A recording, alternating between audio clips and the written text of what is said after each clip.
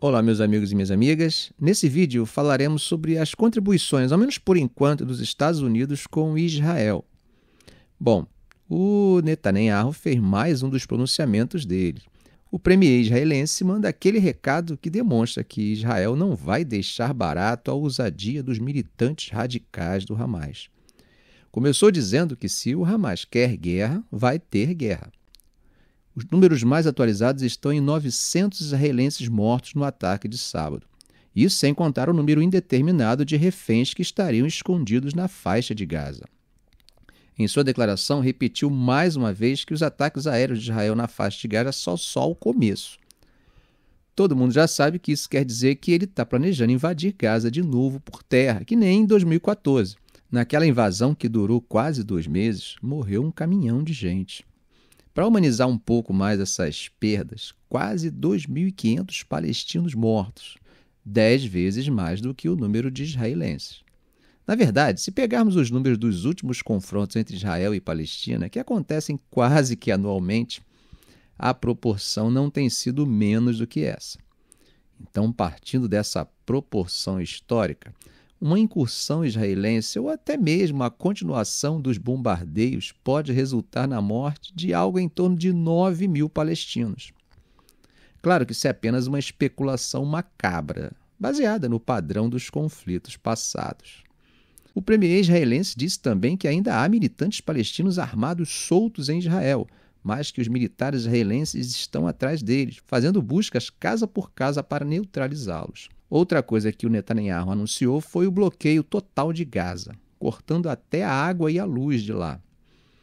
Gaza recebe água e luz de Israel, então Netanyahu mandou cortar tudo, dizendo que só vai religar quando o Hamas for totalmente destruído.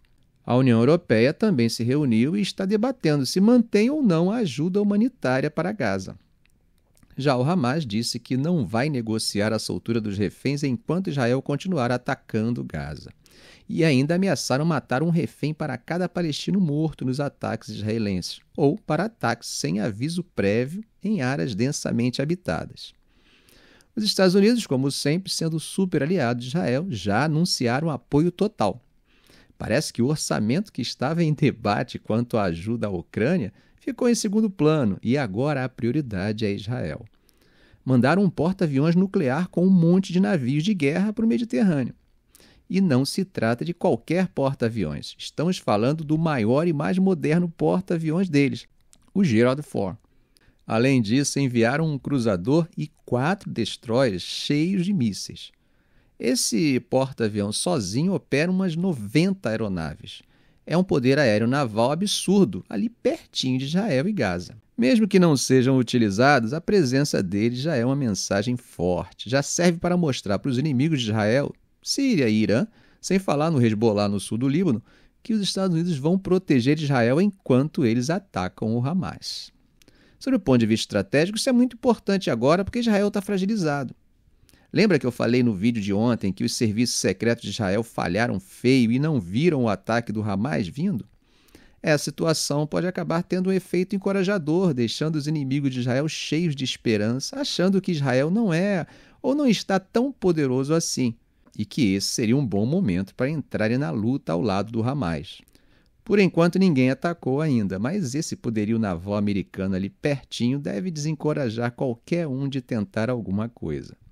Então, resumindo, os Estados Unidos estão ali só de vigia, garantindo que nenhum outro inimigo vai aproveitar para atacar Israel enquanto eles resolvem o problema com o Hamas. Ficamos por aqui. Se esse vídeo foi útil para você, faça um comentário, compartilhe em suas redes sociais, dê um like. E é claro, se ainda não for inscrito, inscreva-se no canal e ative o sininho. Ok, gente? Um grande abraço do professor Arão Alves.